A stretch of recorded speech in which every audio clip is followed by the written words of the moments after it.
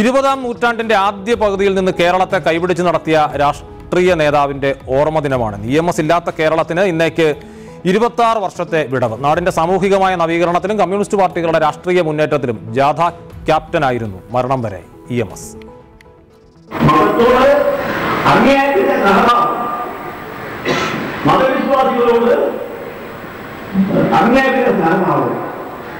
ഇതാണ് നിലപാട്.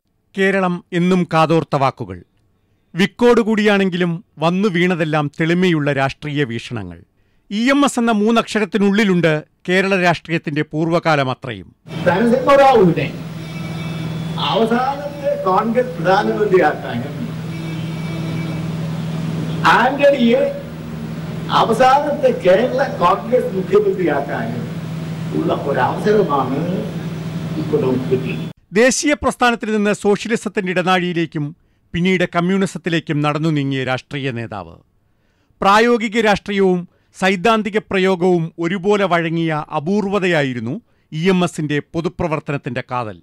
ചരിത്രമെഴുതിയ മന്ത്രിസഭയുടെ പിറവി മുതൽ കേരളത്തെ മുന്നോട്ട് നടത്തിച്ച ഭരണാധികാരി. അതിനു മുമ്പേ പാരമ്പര്യത്തോട് പടവെട്ടി സാമൂഹിക പരിവർത്തനത്തിനായി പൂണൂൽ പൊട്ടിച്ച നേതാവ്. ജാതി വിവേചനത്തിന്റെയും ജന്മിത്വത്തിന്റെയും അടിത്തറ തകർത്ത് ജനാധിപത്യ ബോധത്തിലേക്ക് കേരളത്തെ പുതുക്കിപ്പണിതത് ഇ എം എസിന്റെ എഞ്ചിനീയറിംഗ് ആണ് കാർഷിക പരിഷ്കരണ നിയമം ഉൾപ്പെടെ ദീർഘവീക്ഷണമുള്ള ആശയസമ്പന്നതയോടെ ആദ്യ സർക്കാരിനെ നയിച്ച ഒരാൾ. കേഡർ പാർട്ടിയുടെ ക്യാപ്റ്റനായിരുന്നു ഇ എം എസ്. കേരളത്തിൽ മാത്രമല്ല രാജ്യത്തും. അച്ചടക്കത്തിന്റെ വാളെടുത്തും തന്ത്രങ്ങൾ പുറത്തെടുത്തും പാർട്ടിയിലെ അജയ്യനായിരുന്നു അദ്ദേഹം.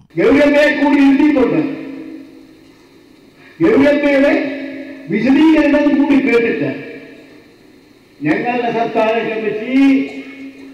ഭൂരിപക്ഷം അനുസരിച്ചല്ല ഏകകണ്ഠമായി തീരുമാനമെടുത്തു എല്ലാ രാഷ്ട്രീയ മാറ്റങ്ങളിലും ഇ എം എസിനൊരു വീക്ഷണമുണ്ടായിരുന്നു. അത് പറഞ്ഞും എഴുതിയും കേരള രാഷ്ട്രീയത്തിന്റെ കേൾവിയെയും വായനയെയും അദ്ദേഹം സമ്പന്നമാക്കി. ആയിരത്തി തൊള്ളായിരത്തി ഒൻപത് ജൂൺ പതിനാലിന് പെരിന്തൽമണ്ണയിലെ ഏലംകുളം മനയിൽ ജനനം. ആയിരത്തി തൊള്ളായിരത്തി തൊണ്ണൂറ്റിയെട്ട് മാർച്ച് പത്തൊൻപതിന് തിരുവനന്തപുരത്ത് മരണം. രണ്ടു തവണ മുഖ്യമന്ത്രി ദീർഘകാലം പാർട്ടിയുടെ സംസ്ഥാന സെക്രട്ടറിയും ജനറൽ സെക്രട്ടറിയും.